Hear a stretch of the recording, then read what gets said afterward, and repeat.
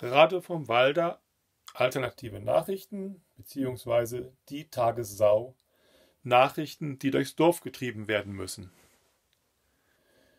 In der Rade vom Walder Innenstadt wird ein neuer Kreisverkehr geplant und dieser war in der letzten Woche, Ende September, Thema in der Ratssitzung in Rade vom Wald.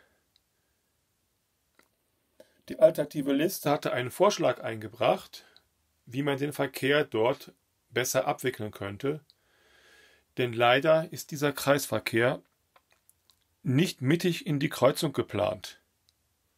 Man hat leider versäumt, planungsrechtlich dieses Bereiche abzusichern. Hier war vorher ein Parkplatz, aber auf Privatgelände, hier ein Haus, was abgerissen wurde. Und hier entsteht jetzt ein Neubau.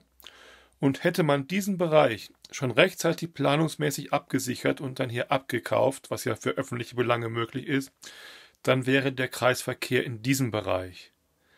Und dann wäre mit Telegrafenstraße, Hohenfuhrstraße, Kaiserstraße hier entlang und die Grabenstraße, die hier kommt, der Kreisverkehr in optimalerer Lage. Nun, obwohl dieser Kreisverkehr lange in der Diskussion ist und man da hätte planungsmäßig doch reagieren müssen, wenn man sowas anstrebt, ist das versäumt worden. Und jetzt hat man geprüft, was wäre hier möglich, wenn man einen Kreisverkehr will. Und das, was hier auf der Karte jetzt sichtbar ist, ist dabei herausgekommen. Ich möchte jetzt versuchen, mit ein paar Streichhölzern zu verdeutlichen, was die Probleme sind. Zunächst einmal die Einfahrten in den Kreisverkehr. Von Richtung Bergerhof kommen, fährt man hier in den Kreisverkehr rein. Von Richtung Ulfebad kommen, teilweise Nordstadt, Schule, fährt man hier in den Kreisverkehr rein. Immer die grünen Köpfe der Streichhölzer sind die Fahrtrichtung. Von der Hohen Fuhrstraße fährt man hier in den Kreisverkehr rein und von der Grabenstraße hier. Und das wäre bei einer Kreuzung auch ganz normal. Aber da der Kreisverkehr nicht mittig ist, soll es schon hier von der Kaiserstraße in die Grabenstraße einen Bypass geben. Also fährt man hier rein. Und damit das nicht genug ist, es soll auch in die Kaiserstraße reingefahren werden, und zwar durch den Bypass. Und das sieht dann so aus. Diese Verbindung kreuzt hier die Ausfahrt aus der Grabenstraße. Kommt noch hinzu, dass natürlich der Kreisverkehr, weil er verschoben ist, hier in die Einfahrt der Kaiserstraße gleichzeitig die Ausfahrt in die Grabenstraße hat. Die kommen also hier raus, müssen diese Autos gegenseitig beachten. Und natürlich in den ganzen Bereich ist noch Fußgängerverkehr. Also hier rüber, dort rüber, wie die jetzt immer laufen werden. Eine ziemliche Gemengenlage. Deswegen hat die alternative Liste gesagt, so geht der Kreisverkehr nicht. Wenn man den baut, ist das Mindeste, was man tun muss, eine Umkehrung der Fahrtrichtung in der Kaiserstraße. Das heißt, man fährt durch die Grabenstraße rein, und kommt aus der Kaiserstraße wieder raus. Das heißt, die Querung des aus der Grabenstraße rausgehenden Verkehrs findet nicht mehr statt. Es geht direkt in den Kreisverkehr rein und diese Fahrtbeziehung gibt es nicht mehr. Hier über die Straße drüber. Ich lege sie nochmal hin, um es einfach zu zeigen.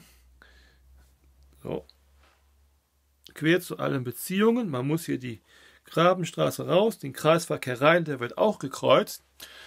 Und da ist doch die Frage, ob man ein Autofahrer, der nicht aufpasst, dann vielleicht eher die Gefahr steigt, dass es zu einem Unfall kommt. Und eine ganz einfache Maßnahme wird das beheben. Diese Kreuzung der Verkehrsströme findet nicht mehr statt, wenn der Verkehr hier reinfährt und aus der Kaiserstraße raus. Dann kommt nämlich hier an biegt direkt in den Kreisverkehr und fährt rum. So muss man hier drüber biegen. Mit dieser Straße kreuzt sich. Das ist nicht vorteilhaft. Die alternative Liste hat der Antrag gestellt. Er war noch ein bisschen weitergehender als mein Vorschlag. Die Grabenstraße sollte Einbahnstraße werden. Das hatte ich jetzt nicht zwingend vorgeschlagen, darüber lässt sich streiten. Aber immerhin der alternative Liste-Vorschlag war besser als alles andere, was geplant wurde. Aber der Stadtrat hat es abgelehnt. Angeblich wegen einer Sichtachse, die man haben muss, von der Kaiserstraße bis zur Innenstadt durchgehend. Die Leute würden angeblich nicht mehr in der Innenstadt einkaufen, würden sie hier angefahren kommen, in die Grabenstraße fahren und damit von der Innenstadt weggeführt. Interessant waren die Reaktionen von Ruhr von Thomas Lorenz im Verkehrsausschuss, wo ich das schon mal angesprochen hatte. Da sagte Thomas Lorenz, ja, das wäre eine gute Idee, wenn man nämlich hier in die Grabenstraße reinfährt, dann ist nachher auch die Kreuzung Grabenstraße-Weststraße entschärft, weil man nicht mehr in die Innenseite eines, einer Biegung reinfährt und das wäre viel besser einsehbar, dort in die Weststraße reinzufahren. Im Stadtrat der gleiche Politiker Thomas Lorenz von der Ruhr die gegenteilige Ansicht. Wenn man den Verkehr so führt, dass die Leute hier reinfahren, dann werden sie geradewegs in die Grabenstraße geführt und dann wird es dort zum Verkehrschaos kommen. Natürlich kann es sein, dass da mal ein Autofahrer verirrt, aber die meisten Radar sind ortskundig. Und wenn man entsprechend große Warnschilder aufstellt, die ja überdeutlich sein können, Grabenstraße, kein Durchgangsverkehr, dann dürfte, denke ich mal, dürfte das nicht das Problem sein. Aber wir haben zurzeit hier eine Ampel.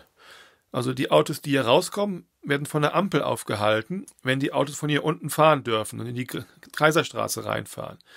Wenn die Autos fahren dürfen, ist zwar ein bisschen Gefahr, dass sie sich hier kreuzen müssen, aber es ist eine Sichtachse geradeaus, während man hier um die Ecke kommt. Und deswegen mit Ampelschaltung ist die Verkehrsführung, wie sie heute ist, machbar, aber mit dem Kreisverkehr die Einfahrt in die Kaiserstraße, gleichzeitig die Ausfahrt aus dem Kreisverkehr, gleichzeitig die Ausfahrt aus der Grabenstraße, gleichzeitig auch noch, dass man hier, wenn man reinfährt in den Kreisverkehr, wird man noch mit abgelenkt durch die Ausfahrt aus der Kaiserstraße in den Kreisverkehr. Gleichzeitig hier ein Fußgängerüberweg und auch hier noch, also parallel ein Fußgängerüberweg. Das ist eine Gemengelage, die nicht sinnvoll ist. Deswegen die Vereinfachung. Man fährt hier in die Grabenstraße rein. Alles in einer Richtung. Und man fährt aus der Kaiserstraße raus, dann sind die ganzen Überschneidungen nicht gegeben. Und ich denke, das ist eine viel bessere und sicherere Verkehrsführung. Warum das der Stadtrat abgelehnt hat, weiß ich nicht. Urteile jeder selbst. Es gab noch eine andere Sache, die ich jetzt nicht auf der Karte darstellen kann. Die alternative Liste hatte auch beantragt, dass man für Karthausen vorschreibt, dass es Solarzellen gibt und Energiespeicher. Es wurde nicht vorgeschrieben, wie viel Solarzellen, welche Sorte von Solarzellen, ob auf Fassade oder Dach, ob der Speicher in jedem Haus ist oder ein Sammelspeicher für das ganze Viertel. Das war in dem Antrag noch offen. Und bis auf ein paar Stimmen von der UWG, die auch nicht komplett dafür gestimmt hat, hat das der ganze Stadtrat abgelehnt.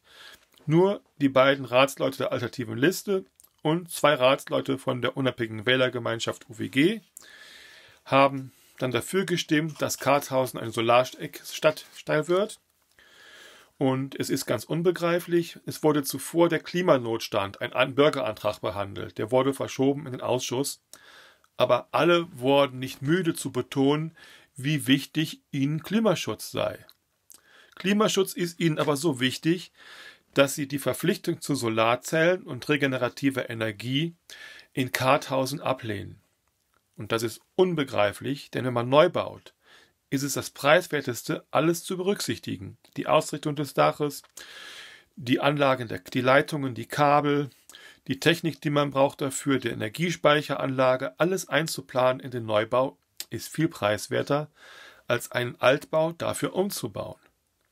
Und wenn man schon neu baut, dann doch bitte möglichst Energie-Plus-Häuser, die mehr Energie liefern für die Stadt, als sie verbrauchen. Das ist heute möglich. Das könnte man alles machen. Das wäre wirklich Klimaschutz. Wenn aber Rade vom Wald einen Stadtrat hat, der mehrheitlich eine solch logische, einfache Re Regelung ablehnt, dann hat Rade vom Wald einen Klimanotstand von ganz besonderer Qualität. Den braucht man nicht erklären, der ist Fakt. CDU, SPD, FDP, Grüne, Pro Deutschland, alle sind haben diesen Klimanotstand mitgeschaffen. Das linke Forum ist eine Ausnahme, die haben sich enthalten, weil sie wollten nicht gegen Solarzellen stimmen, aber sie stimmen auch nicht für etwas, was mit Karthausen zu tun hat. Das ist eine Sondererklärung. Hätten die anderen sich alle auch enthalten, hätten ja vier Stimmen von UWG und der L die Mehrheit gehabt und die Sache wäre durch gewesen. Also das linke Forum hat es nicht verhindert, aber die grüne Partei, die den Namen Grüne hat, hat nicht für Solarzellen gestimmt und alle anderen haben gezeigt, wie und abweichend von ihren Aussagen ihr Handeln zum Thema Klimaschutz ist. Glaubwürdigkeit sieht anders aus.